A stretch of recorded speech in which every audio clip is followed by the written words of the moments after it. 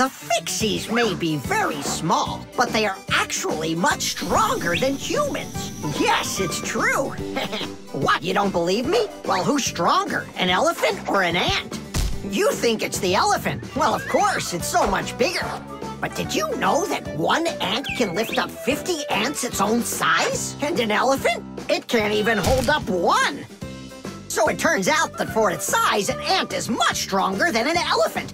And the same goes for Fixies. Fixies are incredibly strong for their size. They can lift things that are a hundred times heavier than they are. And Fixies can jump 50 times higher than their own height. If humans were as strong as Fixies are, they'd be able to lift an automobile all by themselves.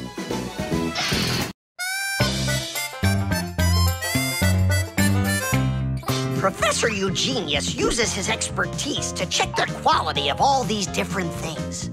To help him carry out his experiment, his laboratory is filled with a variety of tools and machines.